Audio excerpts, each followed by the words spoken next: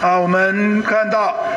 双手交握，深呼吸。新指挥官上任第二天，王必胜看得出来很紧张。前一天首都举行记者会，被媒体追问过去的绯闻，防疫完全失焦，让行政院长苏贞昌决定亲自召开扩大防疫会议，抢救指挥官。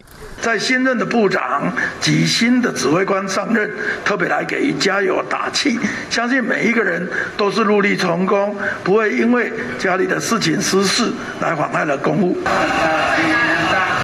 会力挺，不过新任卫福部长薛瑞元却跟王必胜传出心结。薛瑞元独自走前面，王必胜走在队伍中后。张尚淳想礼让，还被拒绝。薛王两人互动从头冷到尾，加上薛瑞元前一天部长交接典礼上致辞频频强调唯一的太太，难免引发联想。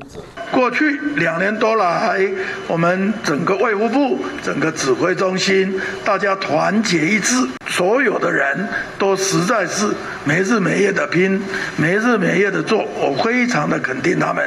不过王必胜的争议不止一桩，加上副指挥官陈宗彦上周请辞走人，还没补人，也让外界质疑指挥中心是不是另类降级。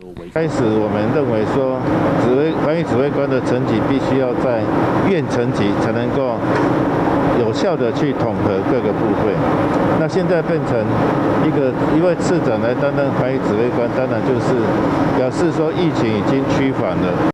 不再需要，呃，很积极的去做各部分的统统整工作。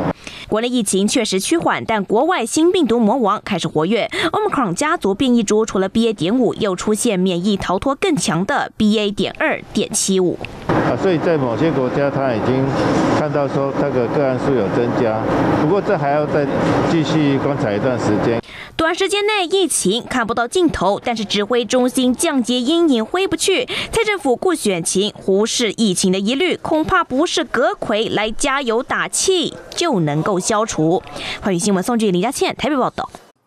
请订阅、按赞、分享华语新闻 YouTube 频道，并打开小铃铛，及时掌握全球时事与最新趋势。